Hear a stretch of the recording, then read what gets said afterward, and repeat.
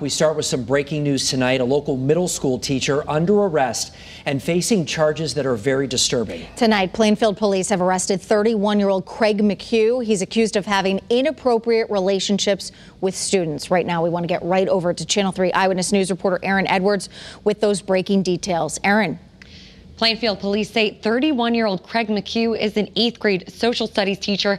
They tell us all of his victims were under 16 years old and were either students, former students, or players he coached. McHugh is now facing two counts of sexual assault in the fourth degree and seven counts of risk of injury to a minor. Plainfield police say this investigation started back in May. They say that's when they got a call from a concerned parent about text messages on their child's phone. Police say some of those messages included inappropriate pictures and talked about supplying a child with marijuana. Tonight, the Plainfield School District is responding to this incident. They say they were alerted of this case during the 2020-2021 school year.